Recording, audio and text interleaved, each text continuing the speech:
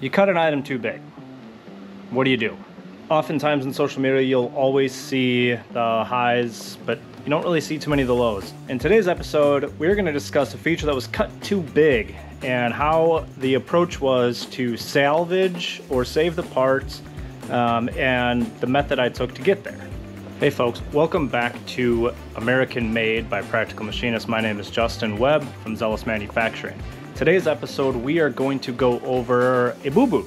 So there's always the uh, obvious method of remake it, uh, or B, you know, depending on your material, you can weld up, recut, or you can sleeve it. Those are kind of typically the three. Um, I know a lot of people are going to say remake it. Uh, there's about oof, let's say 50-ish hours into machining these. So I tried to save myself a headache. Here's the item. This item is flat here and here.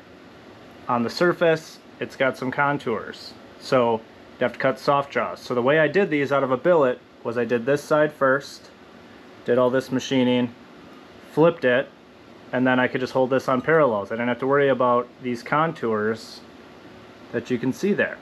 And why I did it that way was to avoid soft jaws and then any variability in that aspect. But one thing that I did do, and I shouldn't have done, is I should have made this a three-op part. I did it in two operations. So again, I did all this. I flipped it. I did all of this. To locate, instead of putting a probe all the way down in this hole the way I did this was I took this hole, I did this geometry, and then I just put, I drilled a hole all the way through. So then when I flipped it, I could pick up off that hole, you know, X, sorry, I'm working backwards, X, Y, you know, and Z, and I could pick up off that hole.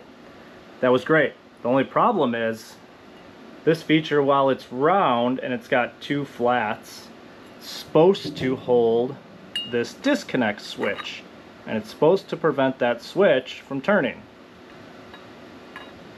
So, as you can see, that item turns. That's no good.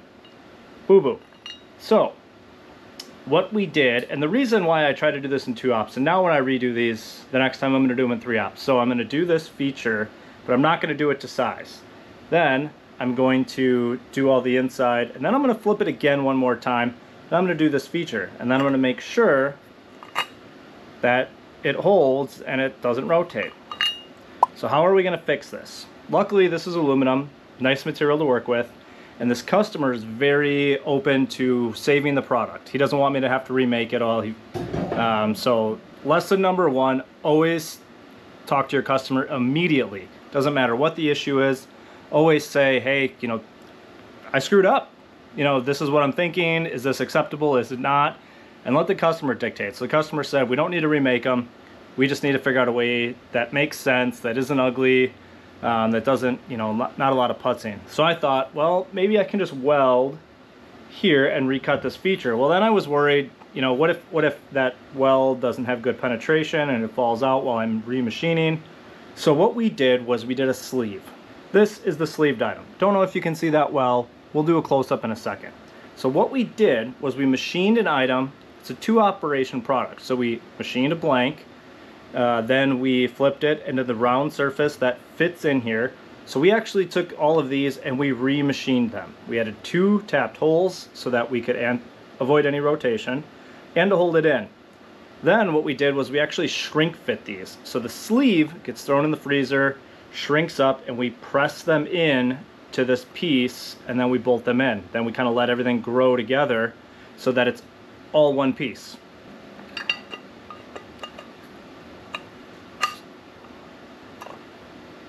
So here, right, I can't rotate it. I'm trying to rotate it. Because this is an electrical disconnect, right, there's a lot of torque when you disconnect that. So there's that. So you can see it did work, my sleeve. So I'm going to show you guys now how we went about that process of the sleeve. So here is that item uh, sleeved. So you guys can kind of see, right, there's the sleeve, there's the cut to prevent that rotation, and then a little bit of corner relief to help it uh, go in easily. So here we did these all, and I'll show you guys the modification, how we approach this in a second. So here it is. That is the finished item before the disconnect and the terminals go in. So here's the item. Ironically, I had to cut soft jaws to redo all the work. So the joke is I should have just done it in three operations instead of two. Well, lesson learned. Now I get to play with all the fun stuff. So what we're going to do here, you can see there's a flat that's supposed to prevent the rotation. Now what I'm actually going to have to do is I go in and I recut the bore, drill and tap those two holes, and then chamfer the edge so that the sleeve can get pressed in. Here's op one. So this is the outside of the sleeve that goes on the bottom. So we, uh, I don't have a countersink that small. I don't countersink a lot actually that small. So uh, I actually had to do those with a ball end mill. Um, so here's op one. We'll flip it, we'll put it in soft jaws, and I'll show you how I hold it in op two, because some people looked at it and thought it was a little goofy, um, but I'll explain why I did it that way. So here's the item, and here's the soft jaws. So a lot of people thought, or some of the people that saw this said, why don't you just put them like this? Well, I was a little worried if my soft jaws were a little too loose, I'd have rock. So because I was only able to engage about here and here and this is round and then it kind of tapers there. So I had a very little engagement on that taper.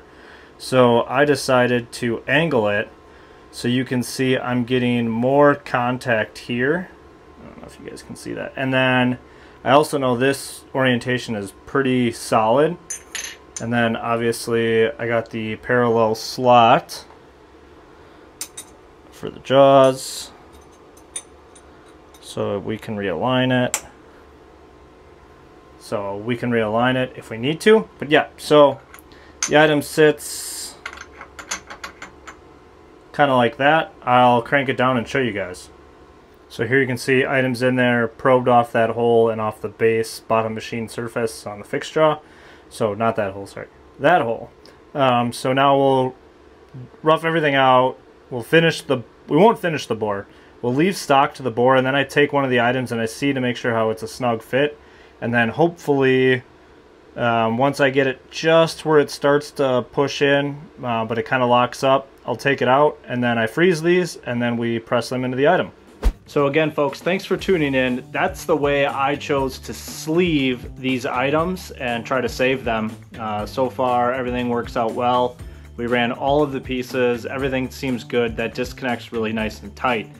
I would like to hear from you guys to see what would have been your approach. Would you have chose welding, remaking, or sleeving like I did? And I, if you chose, or if you would have done the sleeve method, I want to know how you would have chosen to tackle that. Um, some people would have probably just done op one, op two, and then finished that item, make sure the disconnect fits in, and then pushed it in uh, and bolted it in. Sorry, not pushed it in. Uh, but I was a little curious and concerned uh, if once I put it into the item if the compression would cause that feature to collapse a little bit because it's pretty thin walled. So just curious how you guys would have approached that and tackled that. Uh, look forward to hearing from you. Any questions or if you want me to dive into any specific item or any specific approach on this project, drop a comment below. I'll be sure to check those and respond. And as always, like, subscribe to Practical Machinist for all of our tips and tricks.